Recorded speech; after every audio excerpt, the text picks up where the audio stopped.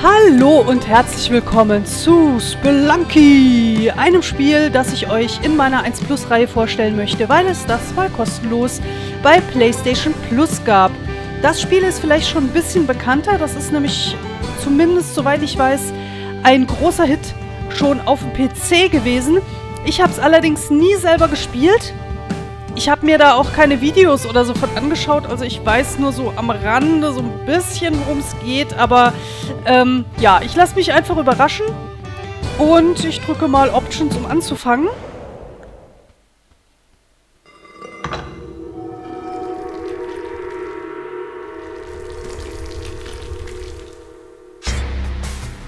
Cool.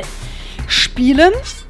Anscheinend kann man das auch im Koop oder sonst irgendwie spielen. Ich gehe aber erstmal in die Optionen und gucke mir mal an, was wir da so einstellen können. Also so wird gespielt.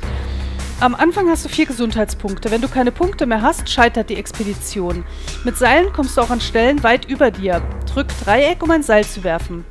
Mit Bomben kannst du Mauern wegsprengen. Drück Kreis, um eine abzuwerfen. Pass aber gut auf. Die Peitsche ist die beste Verteidigung gegen Monster, die in den Höhlen leben. Drück Viereck, um damit anzugreifen. In den Höhlen liegen überall Holzkisten herum. Öffne sie mit der Peitsche, um Vorräte für unterwegs zu finden.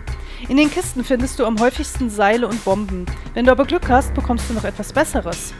Schatzkisten stecken voller wertvoller Edelsteine. Die meisten von ihnen haben schwache Schlösser, die mit der Peitsche geöffnet werden können. Deine Punktzahl hängt davon ab, wie viel Beute du gesammelt hast. Häuf große Reichtümer aus Gold und Edelsteinen an. Dies ist ein Ladenbesitzer. Du kannst bei ihm alle möglichen Arten von Objekten finden. Verärgere ihn aber nicht. Steht ein Objekt zum Verkauf, ist darüber ein Dollarzeichen zu sehen. Manche Läden verkaufen Waffen, wie etwa diese Schrotflinte. Du kannst deine Beute im Laden zum Kauf von Objekten einsetzen. Achte darauf, sie gut anzulegen. Die Läden bieten auch oft verschiedene andere nützliche Hilfsmittel. Dieser Kompass zeigt dir beispielsweise den Weg zum Ausgang. Im unteren Teil der Level befinden sich Ausgänge in tiefere Teile der Höhlen. Diese sind dein Ziel. Hier unten werden liebreizende Frauen gefangen gehalten. Wenn du sie sicher zum Ausgang bringst, schenken sie dir Gesundheit. Du kannst auch diese goldenen Götzen zum Ausgang bringen, um große Belohnungen einzustreichen. Sie werden in der Regel durch tödliche Fallen bewacht. Soweit die Grundlagen. Im Spiel wirst du noch viele andere Sachen entdecken. Viel Spaß! Also ein Spiel anscheinend mit Permadeath, weil, wenn man die vier Gesundheitspunkte weg hat, dann ja, scheitert die Expedition und man darf wieder von vorne anfangen. Steuerung. L2 und R2 brauche ich mir nicht zu merken. L1 kaufen oder Tür. Das ist natürlich richtig gute Kombi. R1 ist laufen, Seil, Bombe, springen, Peitsche, bewegen. Okay. Einstellungen, Vibration. Ach, lass ich mal an. Effektlautstärke, ich lass mal alles so. Ich werde die Helligkeit mal vielleicht noch ein bisschen hochballern weil YouTube macht das wieder sehr, sehr dunkel. Ich will es nicht zu hell machen, aber ja, damit ihr auch was seht. Das Spiel an sich ist ziemlich dunkel. Der Frauenstil. Oh. Mopsi. Ich will, ich will Mopsis retten. So, hat Stil, Standard, Profi. Ich lass mal Standard, wa? So, zurück. Und er speichert anscheinend, wie das Büchlein uns anzeigt. Ja, dann gucken wir mal, wie lange ich überlebe. Es wird nicht lange sein, das kann ich euch versichern, aber wir spielen einfach mal. Begib dich auf die Suche nach dem legendären Olmec-Schatz. Geh allein oder mit deinen Freunden. Dann gibt es noch die Tagesaufgabe. Tritt im heutigen Abenteuer gegen andere Online-Forscher an. Du hast nur einen Versuch. Und Todeskampf, finde bei einem tödlichen Wettkampf heraus, wer der talentierteste Abenteurer ist. Ich gehe erstmal auf das Abenteuer. Okay, Abenteurer auswählen. Ähm...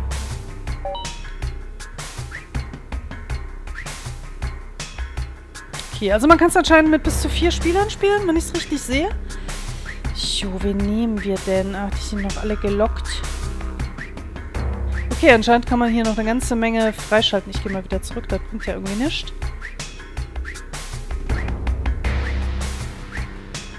Hm. Ach, ich glaube, ich nehme einfach mal den Standard, obwohl das Vibe natürlich angebracht wäre, aber ich finde, die sieht doof aus. Ihn finde ich noch ganz cool. Ach komm, wir nehmen ihn einfach mal. Den finde ich supi. Der ist ja cool. Aber wir sind ja nur alleine. Keiner will mit mir spielen. Naja, egal.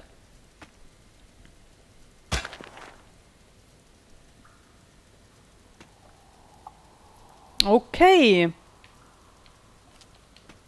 Gut. X war springen. Hier können wir wahrscheinlich speichern, oder? Du hast ein Tagebuch gefunden. Ah, es ist ein Tagebuch, kein Speicherpunkt. Dann öffnen wir es mal. Hallo, mein Name ist Yang und dies ist mein Tagebuch. Staubige Karten und Gerüchte von erstaunlichen Schätzen haben mich hierher tief unter die Wüste gebracht. Dieser Ort ist irgendwie seltsam. Der Aufbau scheint sich die ganze Zeit zu verändern. Man sieht nie denselben Raum zweimal. Ob das wohl der legendäre Olmec-Fluch ist, der die Höhlenleute auf der die Leute auf ewig in die Höhlen einschließt? Ich schiebe den Gedanken beiseite und konzentriere mich stattdessen auf den Schatz. Wenn ich die Grundlagen der Bewegung und des Kampfes beherrsche, werde ich als reicher Mann zurückkehren. Ja, das wird sich noch rausstellen. Ach, wir dürfen jetzt erstmal das Tutorial spielen. Das ist, glaube ich, gar nicht verkehrt. Da können wir schon mal so ein bisschen die Grundlagen hinkriegen. Gut, X ist springen. Okay, können wir auf Schlangen draufspringen? Oder ist das eher uncool? Ich probiere es mal, wenn ich sterbe, ist eh egal. Ja, wir können auf sie draufspringen. Und er hält sich hier auch dran fest. Also man kann dann auch so ein bisschen sich festhalten. Okay, also man kann sie auch dann leider ein bisschen blutspritzend töten. Komme ich hier denn rein? Ja, Tatsache. Hätte ich jetzt nicht gedacht. Gut, aber erstmal ein bisschen vorsichtig vorgehen. Wie gesagt, auf dem PC habe ich zumindest mitbekommen, so ein bisschen ist das ja voll der Hit, weil es eben auch wieder diesen äh, Permadeath sozusagen hat. Okay, R1 war ja Rennen und dann, hui, können wir ganz hier rüber springen und hier ist sogar schon ein Edelstein.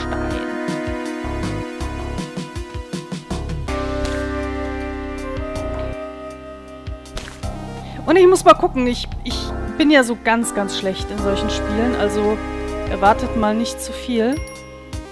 Okay, hier geht es anscheinend normal weiter. Hier kriegen wir mit der Leiter das alles erklärt.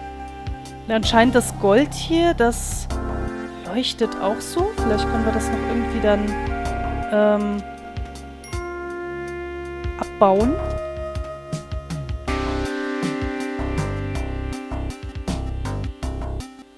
Kann ich auch hier runterspringen? Ja, das geht auch. Okay, dann muss ich aber irgendwie hoch, hier hochkommen.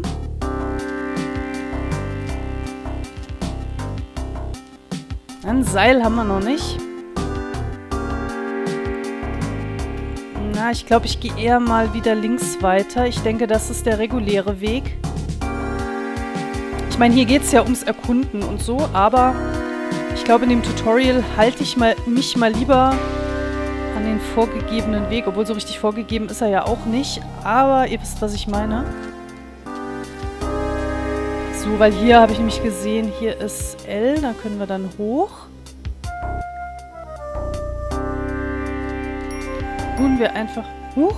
Achso, wenn ich das, äh, den Analogstick runterdrücke, dann geht er so in die Hocke. okay, das sieht witzig aus.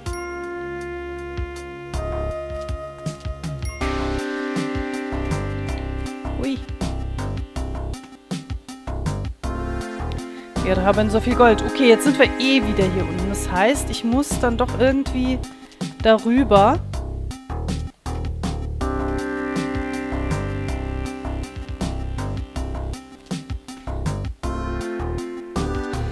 Das Problem ist nur wahrscheinlich so ohne Seil oder irgendwas werden wir an das hier alles noch nicht so wirklich rankommen. Kriegen wir vielleicht noch? Ähm... geht aber verdammt oft in die Hocke. Dum -dum. So, wir müssen noch Kohle müssen wir doch verdienen hier. Okay, dann können wir anscheinend hier weiter. Ja, so ein Tutorial finde ich immer ganz gut. Die Reise war schwieriger, als ich dachte. Ich bin in Stachelgruben gefallen, in Fallen gelaufen und wurde von Monstern angegriffen. Doch ganz gleich, was auch immer passierte, ich bin immer wieder am Eingang der Minen aufgewacht. Es ist fast so, als würde hier unten selbst Gevatter Tod die Orientierung verlieren. Trotz dieser unheimlichen Ereignisse bleibe ich auf die anstehenden Aufgaben konzentriert. Ich schreite eifrig voran und habe dabei Ruhm und Reichtum im Blick. Natürlich. So, Tutorial 2. Erste haben wir sogar einigermaßen überlebt. Blopp. So, was sagt er? Jetzt kriegen wir die Peitsche. Jetzt können wir hier mal richtig loslegen. Das heißt hiermit... Kann ich das auch im Springen machen? Ja, anscheinend schon. Eine Bömpchen, ein neuer Tagebucheintrag. Eine Tasche mit drei Bomben. Ähm. Das sind die Objekte, aber kann ich die auch irgendwie auswählen? Also ich kann, kann mit X nichts machen. Ich kann nur einfach wieder zurück. Tagebuch. Orte, Monster. Ah, die Schlange. Das Verderben eines jeden Abenteurers versteckt sich gerne in Töpfen. Okay, Objekte. Das war die Bombentasche. Achso, das ist einfach nur eine Info. Aber... Jetzt nicht so wahnsinnig äh, gehaltvoll. Aber hier ist jetzt so eine Kiste, die wir ja angeblich, hoffentlich, auch mit der Peitsche öffnen können. Hey, jawoll. Upsi. Nein. Ich wollte da noch ran und versuchen hier rüber zu springen. Wenn es denn mal geht. So geht's. Okay. Hier kann ich wahrscheinlich noch nichts machen. Jetzt dachte ich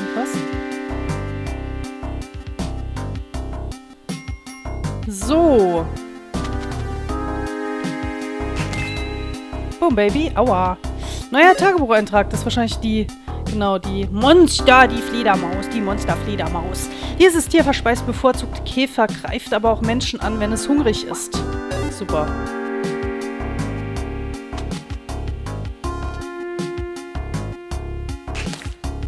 Yes, die hat mich nicht getroffen. So, also hinlegen. Und nach unten gucken. Nein. Hinlegen und Bombe liegen. Hat aber nichts gebracht.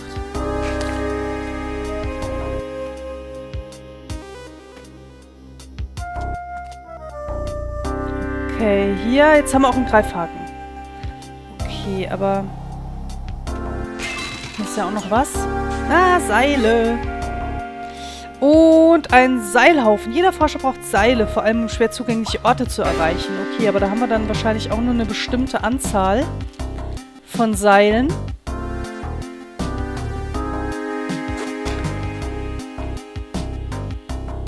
Ah, jetzt wird ein Schuh draus. Dankeschön.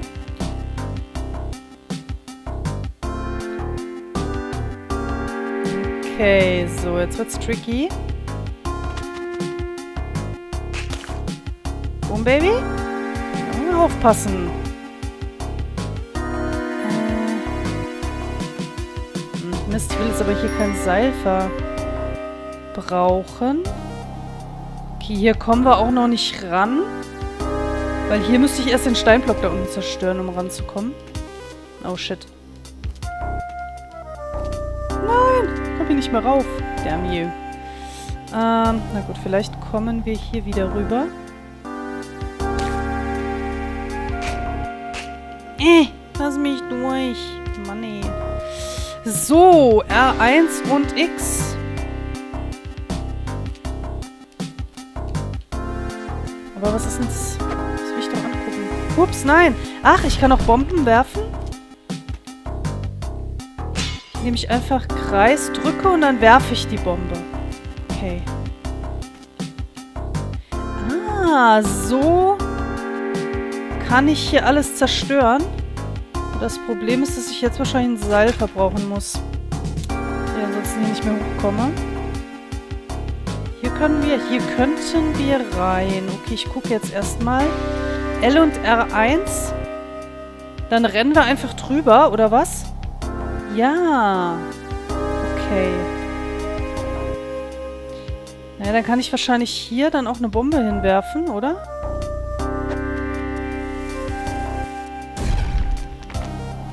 Genau. Kommen wir nämlich hier an die Dinger dran. So, das Problem ist jetzt nur... Jetzt komme ich hier nicht mehr hoch. Wetten? Doch, geht noch. Ähm, ich könnte jetzt hier rein theoretisch noch ein Seil verbrauchen, um dann da hochzukommen.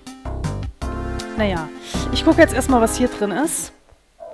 Denke mal, das wird unser regulärer Weg sein, den wir eigentlich so gehen sollen. Neulich hatte ich am Ende der Minen einen Einblick in ein üppiges Paradies. Wie kann so weit unter dem e Ex... Mein Gott, was lese ich denn? Wie kann so weit unter dem Erdboden nur ein solcher Ort existieren? Und was liegt dahinter? Die Händler der Höhlen reden von noch fabelhafteren Gewölben weiter unten, von alten Ruinen aus Gold. Allein die Idee bringt mein rastloses Herz zum Rasen. Gut, Tutorial 3. Okay, warte mal. L und Viereck. Das ist dann... Was bringt mir das? Naja, muss ich mal da oben gucken. Gleich. L nach unten und Viereck. Ähm. Ach, der Stein vielleicht. Dann kann ich den Stein aufnehmen. Ach so. Dann kann ich den werfen, oder was? Ups. Nein. Ach, mit Viereck werfe ich den dann. Okay.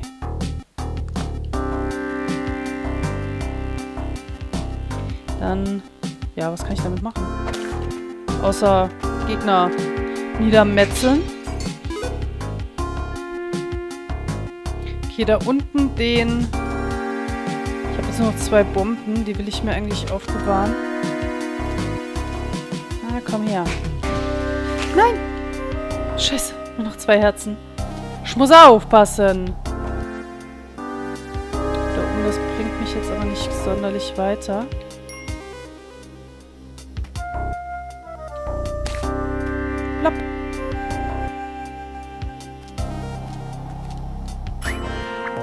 Uiuiui, willkommen in Kevins Gemischtwarenladen. Zum Kaufen L1 drücken. Hallo, Kevin. Man schon Kevin heißt. Ähm, nein. Gut, ich kann einen Seilhaufen kaufen. Wir haben ja auch ziemlich verdammt viel Kohle. Eine Bombentasche könnte ich noch kaufen. Ein Seil. Ich glaube, Seile kann man immer gebrauchen. Gut, aber wenn wir ihn leer gekauft haben, hat er auch erstmal nichts.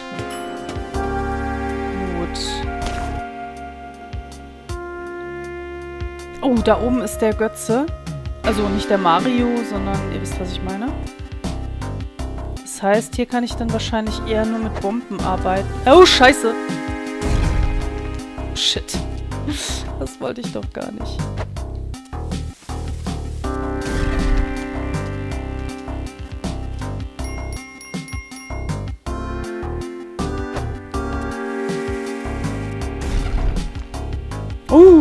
Ja, guckst du. Oh, Hallöchen. Was kann ich jetzt mit dir machen? kann ihn hauen. Bist du jetzt böse auf mich? Ähm. Nö. Der rennt jetzt nur wie wild hier rum. Ich weiß gar nicht, was ich mit ihm dann machen soll.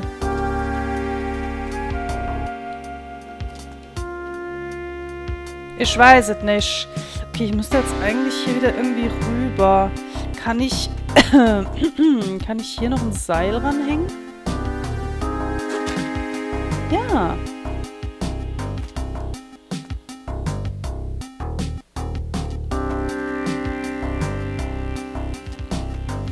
Also man muss halt genau überlegen, was man wo macht und welche Sachen man wo einsetzt. Äh, du blödes Mistvieh. Ich habe nur noch einen.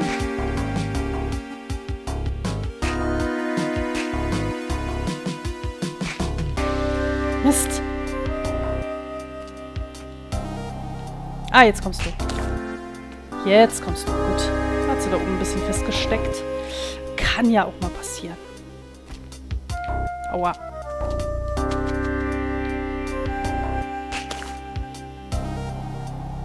Yes. Au, shit. Da war eine Falle. Versuchen wir das noch einmal. Oh, dammit. Das ist fies. Gut, aber wir haben trotzdem einen Speicherpunkt hierbei.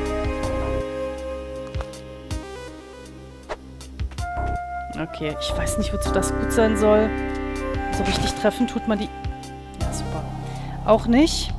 Gott sei Dank ist es nur ein Tutorial. Ich werde jetzt hier einfach weitergehen. Ups.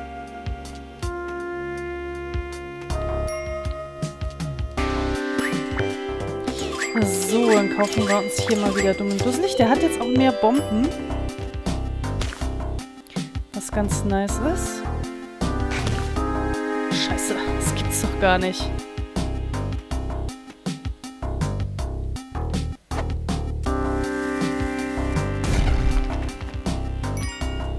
Hey, Gold, Baby. Ach, den kann ich... Ah, den kann ich schieben. Ach, wie geil ist das denn?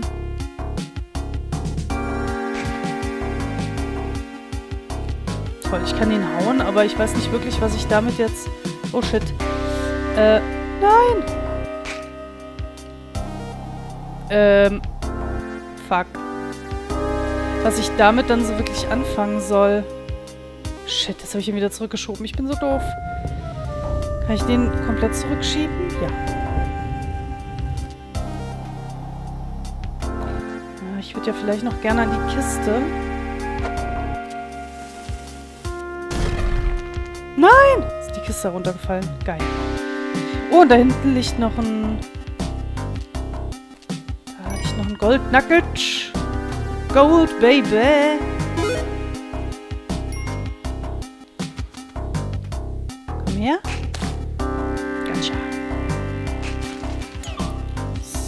Da ist noch ein Seil. Also ich muss schon sagen, es macht Bock. So ist es nicht. Es macht Spaß. Bin ich natürlich hier runter. Ich dödel. Jetzt muss ich ein Seil verbrauchen. Naja. Lass ich noch nicht mal. Scheiße. Are you kidding me? Scheiße. Muss ich noch eins verbrauchen? Ja. Shit. Das war so sinnfrei. Und hier muss ich noch eins verbrauchen. Weil ich zu blöd bin. Nein?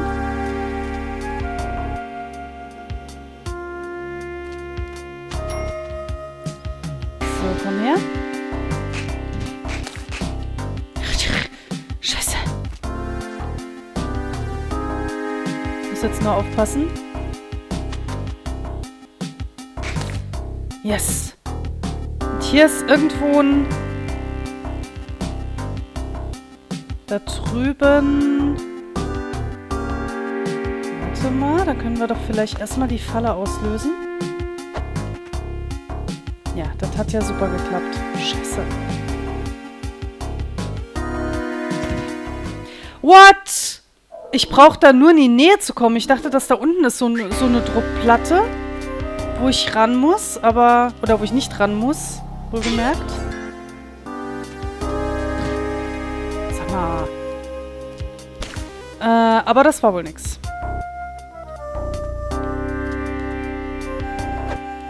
Nein! Ich will hier runter.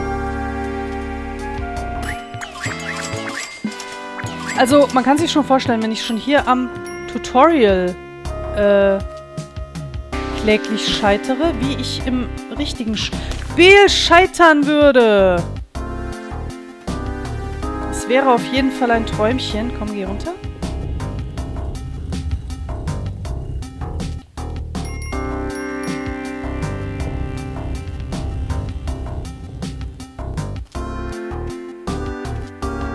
Ich weiß noch nicht, was ich mit ihm hier machen soll. Kann ihn einmal hauen, sodass er hier Sternchen und Vögelchen sieht, aber That's it.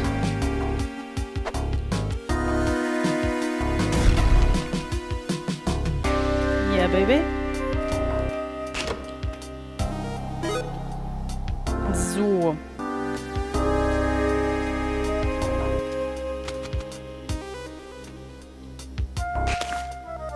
Gotcha.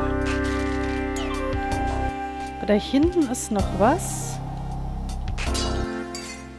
Will ich mir zuerst mal angucken, glaube ich.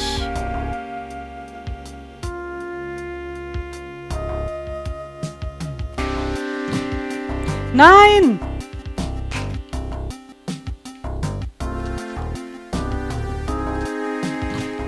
Oh, das gibt es nicht.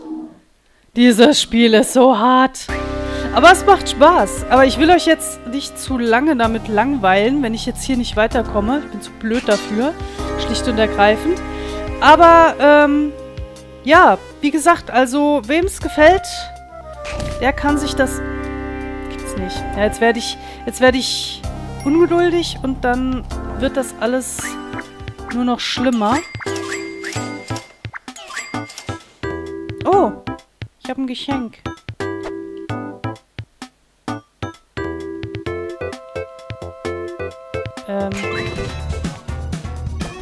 Shit! Oh shit! Du wirst für deine Verbrechen bezahlt. Es tut mir leid, ich wollte doch nicht dich hauen. Ich wollte das Geschenk hauen. Das war jetzt albern. Das war albern. Ich wollte das gar nicht. Ich wollte ihn doch gar nicht hauen. Okay, das passiert also, wenn man den Ladenbesitzer verärgert, um es mal nett zu formulieren. Ähm, ja, also wie gesagt, ihr könnt euch vorstellen, wie bescheuert ich mich anstellen würde bei dem Originalen. Oder wenn es halt richtig losgeht. Das ist ja jetzt erstmal nur das Tutorial und da lose ich schon total ab. Könnt euch ungefähr vorstellen, wie es dann werden würde, wenn... Ja, wenn ich das normale Spiel spielen würde. Aber es ist schon sehr nice gemacht mit einfachen Mitteln. Ähm, hat man hier viel Spaß. Muss man einfach mal sagen. Ich nehme hier schon mal das Gold nochmal mit. Es ist ja jetzt nichts, ich will nicht sagen, nichts super kompliziertes, aber es ist einfach, ähm, ja. Oh, scheiße. Boah, neuer Tagebucheintrag. Eine Cobra. Ach, ich bin begeistert.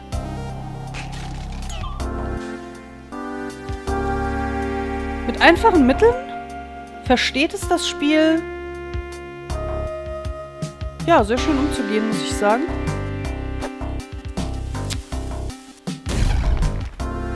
So, das Vieh ist weg. Ähm, jetzt ja, jetzt will er, dass ich die sowohl die, den Götzen als auch die, die Frau, beziehungsweise in meinem Fall den Mobs, hier reinwerfe oder hier durchbringe, oder wie?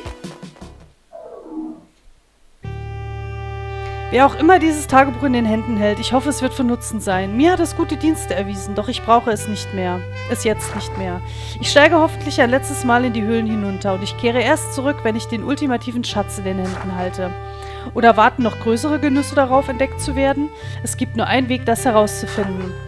Nimm diesen Schlüssel, eröffne den Eingang zu den Minen. Folg meiner Spur, wenn du es wagst. Viel Spaß beim Forschen. Young. Gut, jetzt habe ich eigentlich nicht das gemacht, was ich hätte machen sollen, wahrscheinlich. Weil ich habe weder den Schatz geholt, noch sonst irgendwas getrieben. Aber dann passt das doch wunderbar. Man hat sich so einen kleinen Eindruck holen können, was dieses Spiel bedeutet. Es ist schon ganz schön heavy, das muss man sagen. Man muss immer sehr konzentriert sein. Und ja, wenn ihr möchtet, könnt ihr euch das auch aus dem PSN Store natürlich runterladen. Wer sich das damals als es das bei PlayStation Plus kostenlos gab, gesichert hat und das gerne runterladen möchte, der kann das natürlich noch tun. Alle anderen müssen dafür bezahlen. Ich weiß aber leider nicht, wie viel es jetzt gerade im PSN kostet. Ich vermute mal 14,99 oder irgendwie sowas in dem Dreh. Ich danke euch auf jeden Fall fürs Zuschauen. wir sehen uns dann beim nächsten Mal wieder. Ich sag Tschüss.